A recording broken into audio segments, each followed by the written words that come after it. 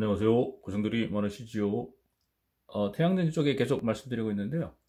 어, 여기 보시면 일렉트론과 홀을 이렇게 이, 이 자료에서 이 교수님이 이렇게 표시, 하셨어요 예, 전자는 어, 떨어지는 공, 공처럼 표시했고 이렇게 비교했고 그 다음에 홀, 전자 올라가서 나중에 이렇게 내려오지 않습니까? 이렇게 돌게 되는데 홀은 물 속에서 그 거품이 올라오는 예, 버블 이렇게 표현을 했습니다. 그래서 N타입, P타입 되고요.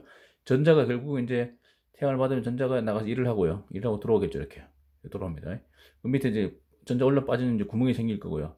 전자는 일을 하고 다시 구멍으로 통해서 다시 올라오고 이렇게 계속 이렇게 도는 거겠죠. 예. 그런 개념을 보시면 되고요. 요거는 이제 그 리콘벨 재결합은 결국 손실이지 않습니까? 나가서 일을 해야 되는데 얘가 나가지 않고 다시 자체로 들어오는 거잖아요. 태양지 본체로. 그러면 결국 결함이 있으면 디펙트가 있으면 얘들이 다시 재결합한다는 거.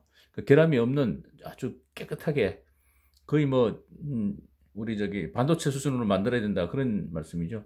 예, 그런 그런 개념으로 보시면 될 것 같아요. 결함이 많으면 일을 안 하고 다시 재결합한다는 거 손실이 되겠습니다.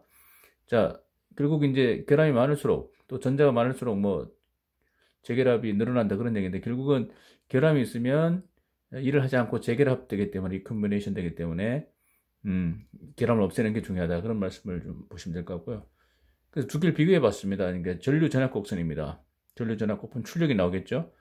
예, 만약에 결함 defect가 작은 거하고 많은 거하고 적은 거. 파란색은 결함이 많은 거, 빨간색은 결함이 작은 거에 대해서 전류 전압 곡선이 어떻게 변하나 그런 걸 표시한 건데요. 이렇게 됩니다. 그래서 파워는 전류 전압 곱하기 전류가 이제 와트잖아요. 와트인데 파워는 만약 결함이 많으면은 이 파워가 안 나옵니다. 조금밖에 안 나옵니다. 그런데 결함이 적으면 어떻게 됩니까? 적으면 이렇게 파워 면적이 커지죠. 이렇게 커집니다. 그래서 결함을 최대한 줄이자. 이게 태양전지 어떤 제조하는데 어떤 비용이 많이 증가되고 좀 어렵다는 점. 그래서 어, 규소로 주로 만들고 있는데 규소를 아주 거의 99.99 이상 반도체급 수준으로 만들어야지 음, 출력이 늘어난다는 거. 그런 개념으로 일단 보면 될 것 같습니다. 예. 감사합니다.